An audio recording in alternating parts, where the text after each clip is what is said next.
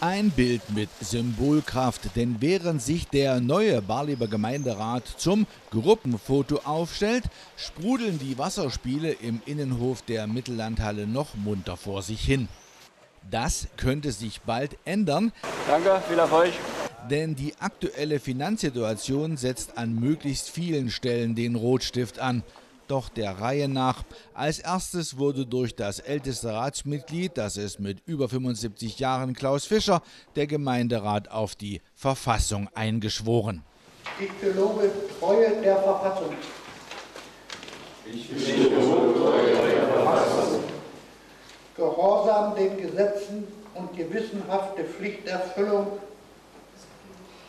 Gehorsam den Gesetzen und gewissenhafte Erfüllung meiner Pflichten. Insbesondere gelobe ich. Insbesondere gelobe ich. Die Rechte der Gemeinde gewissenhaft zu wahren. Die Rechte der Gemeinde gewissenhaft zu wahren. Und ihr Wohl. Und ihr Wohl. Das ihrer Einwohner nach Kräften zu fördern. Und das ihre Einwohner nach Kräften zu fördern.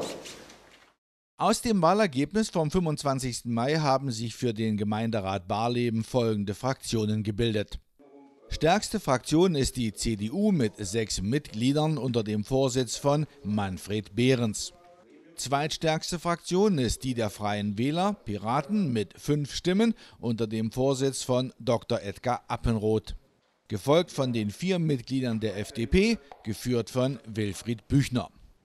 Aus dem Zusammenschluss von UWG und Linken entsteht die Fraktion LUB mit drei Stimmen.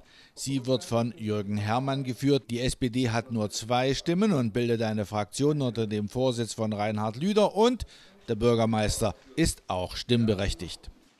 Aus diesen Mehrheitsverhältnissen ergibt sich dann auch die Wahl des neuen Gemeinderatsvorsitzenden. Auf Vorschlag seiner Fraktion wurde Ulrich Korn für die CDU einstimmig zum Ratsvorsitzenden gewählt. Er übernahm dann auch gleich die Leitung der Sitzung. Für die Einstimmigkeit bin ich überrascht. Danke mich bedanke mich aber recht herzlich für das Vertrauen.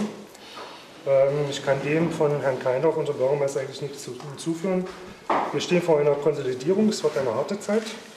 Ich hoffe, dass wir fraktionsübergreifend die Sachaufgaben hier sachlich und fair lösen können. Ich wünsche uns allen ein glückliches Händchen, wird, wurde ja schon mehrfach angesprochen. Und ich denke, wenn wir hier sachlich argumentieren, in der Sache fair sind, werden wir entsprechend gut äh, die fünf Jahre entsprechend hier über die Runden bringen. Bei der Abarbeitung der folgenden Tagesordnung wurde dann auch gleich allen Anwesenden das neue Mehrheitsverhältnis im Rat nachdrücklich vor Augen geführt. Ein Vorschlag der Verwaltung durch die Einsparung von Ausschüssen, einem Beitrag in Höhe von 60.000 Euro zur Konsolidierung der Haushaltssituation zu leisten, wurde mit Mehrheit abgelehnt. Mit der Begründung, diese Ausschüsse würden einen Beitrag zu mehr Demokratie leisten, wollte diese Mehrheit nicht auf die dazugehörigen Sitzungsgelder verzichten. Herr Bürgermeister, ist es ein Zeichen der Konsolidierung eine gute Idee, äh, ausgerechnet auf den Finanzausschuss zu verzichten? Das ist ja nicht die Wahrheit. Die Wahrheit ist doch die, dass die Verwaltung einen Vorschlag gemacht hat, die Aufgaben des Finanzausschusses mit den Aufgaben des Hauptausschusses zu kombinieren. Und dito die Aufgaben des Bauausschusses mit dem Sozialausschuss zu kombinieren. Das hätte einen guten Einspareffekt gebracht und vor allen Dingen hätten wir der Kommunalaufsicht gezeigt, dass genau wie der Landkreis in der Konsolidierungsphase den Finanzausschuss und den Kreisausschuss zusammengepackt hat und den Umweltausschuss und den Wirtschaftsausschuss zusammengepackt hat, dass wir diesen Schritt nachvollziehen, da wir jetzt ja auch in einer derartigen Phase sind, dass wir uns konsolidieren müssen. Im weiteren Verlauf der Sitzung wurden, etwas pauschal gesagt, durch die neue Hauptsatzung die aber erst noch durch die Kommunalaufsicht genehmigt werden muss, die Befugnisse des Bürgermeisters halbiert. Dabei, so die Begründung im Antrag der Freien Wähler, richte man sich nach dem Vorbild der Gemeinde Hohe Börde.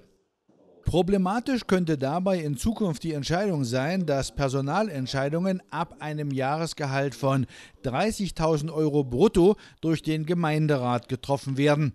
Wer möchte schon seinen Arbeitsvertrag von den Unwägbarkeiten eines basisdemokratischen Gremiums abhängig machen? Ein Thema, das allen auf den Nägeln brennt, ist der geplante Kita-Neubau in Ebendorf. Wenn, so die Kommunalaufsicht, die Gemeinde 3,5 Millionen Euro ohne Kreditaufnahme aufbringen kann, könnte das Vorhaben genehmigt werden. Dazu müssen alle Ausgaben der Gemeinde gegen Null gefahren werden. Dieser Plan fand Zustimmung im Rat. Fakt ist, dass sich der Gemeinderat durch die neue Hauptsatzung ein gerüttelt Maß Mehrarbeit aufgeladen hat, das jetzt durch die Verwaltung vorbereitet und abgearbeitet werden muss. Wer diese Mehrbelastung letztendlich finanziert, wurde in diesem Zusammenhang nicht beantwortet.